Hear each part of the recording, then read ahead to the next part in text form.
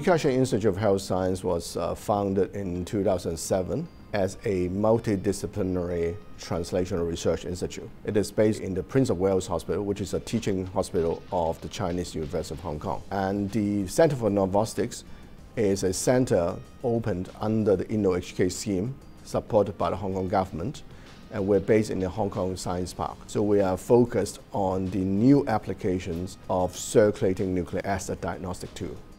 Our program in non-invasive prenatal testing, or NIPT for short, started with our original discovery back in 1997 that during pregnancy, a fetus would release its DNA into bloodstream of a mother.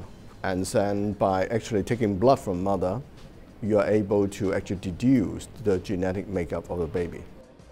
Our team thought, was there any way to improve on the then state-of-the-art of prenatal screening, procedures such as amniocentesis or chorionic villus sampling.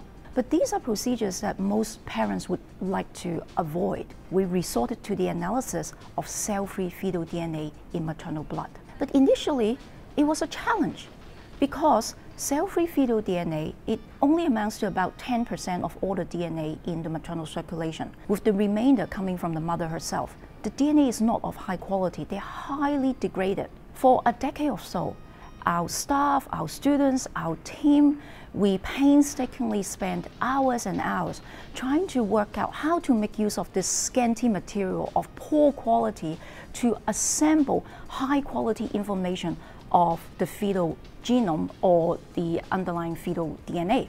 By the late 2000s, we have different generation of the cell-free DNA tests that produced pretty high accuracy for the detection of fetal chromosomal aneuploidies such as Down syndrome. From that program, we have uh, uh, created the first non-invasive prenatal test for trisomy 21, which has now been used all over the world in dozens of countries uh, by millions of pregnant women every year. And actually, we then also see the parallel of that to cancer because basically if you can work out the chromosome makeup of a baby, you can also work out chromosome makeup of a cancer. And then by using that technology, then you can basically detect multiple types of cancer just from a single blood test. When a patient has cancer, the cancer DNA will be released into the blood so that we can detect the cancer DNA. We screened over 20,000 subjects and used nasopharyngeal cancer as a model we use real-time PCR to detect the cancer-associated changes, namely the Epstein-Barr virus DNA in the blood of these subjects. Using that technology, we identified 34 cases with cancer. Without screening, around 80% of the subjects would present with stage 3 or stage 4 nasopharyngeal cancer. But for our cohort, 80% of them had early stage cancer, namely stage 1 and stage 2 cancer. Nasopharyngeal cancer is just a model to demonstrate a, an important biological phenomenon. That is, when a tumor is very small and the patient is asymptomatic, then the small tumor would release sufficient amount of DNA into the circulation to allow us to detect it early. Biomedical Computer Center has been established for more than 10 years. We are closely working together with a variety of clinicians, actively leading the advance of nascent research in biological property of cell-free DNA, such as its fragmentomics and methylomics, which can be used for non-invasive prenatal testing and cancer detection.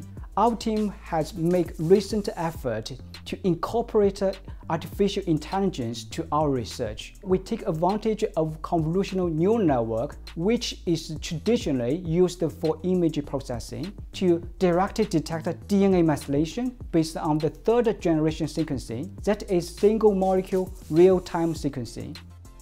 My role as a clinician scientist is to bridge the gap between bench and bedside. To me, it is most rewarding and motivating to see the translation of our research into clinical practice that improves patient care. Our team is interested in the fragmentomics of cell-free DNA, where we look into the DNA fragment size and motifs, single-stranded jagged ends, genomic locations of fragment ends, as well as the link between nuclease biology and the fragmentation of cell-free DNA.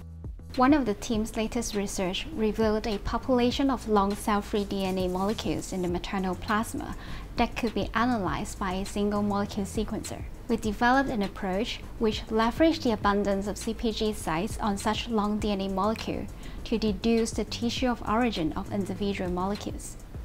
We believe that this work opens up potential clinical utilities of long cell-free DNA analysis in maternal plasma detection or monitoring of complications of pregnancy, such as preeclampsia. We are developing new technologies to actually look at the circulating DNA in blood to actually find which organ it's come from. And by leveraging on some of the latest sequencing technology, we can actually directly analyze those epigenetic signatures. So this will potentially expand the use of circulating DNA into various other diseases to things like detecting stroke, heart attack, and other diseases.